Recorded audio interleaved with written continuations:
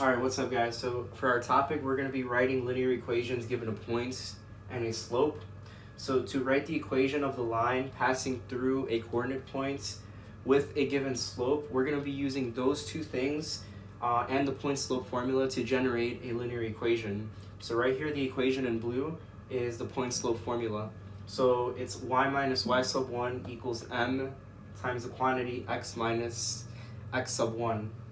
So y and x are going to be the same, but y sub 1 is going to be the y coordinate of your coordinate points, and x sub 1 is going to be the x coordinate of your given x coordinate on the coordinate points.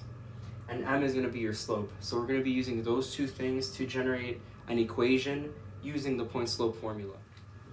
Alright, for the directions, it says write the equation of a line that passes through uh, the given coordinate point and the given slope. So here in this problem, we have the slope is 2, and our given coordinate point is 6 comma 0.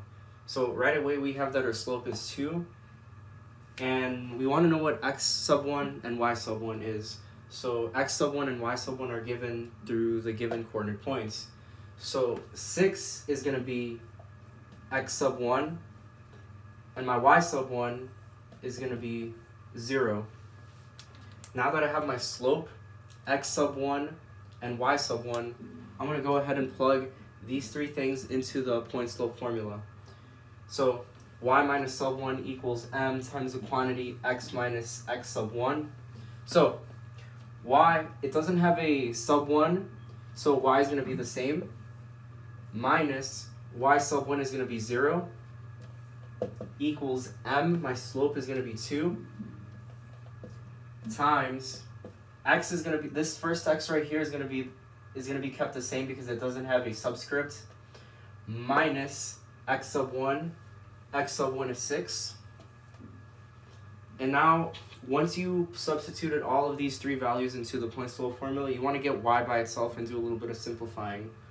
Y minus 0 that cancels out so we're just left with y equals Right here we're going to do the distributive property, so multiply 2 times x is 2x, and 2 times negative 6 is negative 12. And we now created an equation, y equals 2x minus 12, given a slope and a coordinate point using the point slope formula. Alright, for our next problem, we're going to write the equation of a line that passes through the coordinate point at the coordinate point and the given slope. So here I have a coordinate point, negative 2 comma 1.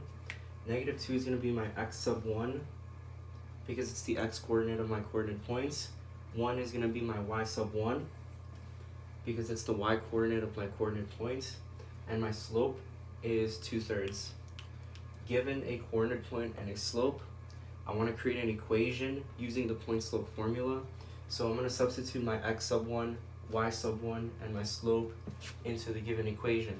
So I have y minus y sub 1 is 1 equals my m is 2 thirds times x minus x sub 1 is negative 2. Now, you have to be really careful because of the double negative. x minus negative 2, put it in parentheses. Here you see the double negative, and it becomes positive. So when I simplify, I'm going to have y minus 1 equals, and then you distribute the 2 thirds into each term inside the parentheses. So we have 2 thirds times x, and then we have uh, 2 thirds times 2. Well, 2, when I'm multiplying fractions, I'm taking this whole number and setting it over 1. So 2 times 2 is 4. And 3 times 1 is 3. Next I'm going to add. Add 1 to both sides. This cancels. And I get y equals 2 thirds x plus 4 thirds plus 1 well, let me just do some scratch work here. 4 thirds plus 1. We want to make this new uh, denominator 3. So we're going to multiply the denominator by 3 and the numerator. 1 times 3 is 3. 4 plus 3 equals 7. And since the denominators are the same, the final answer is going to have the same denominator. So we have 7 over 3. So our final equation is y equals 2 thirds x plus 7 over 3. You want to be careful with uh, substituting your x and y values uh, into the equation. Be careful of double negatives. You want to be confident with multiplying fractions with whole numbers. And you want to be careful with adding fractions as well. So if you don't know how to do that, please review it.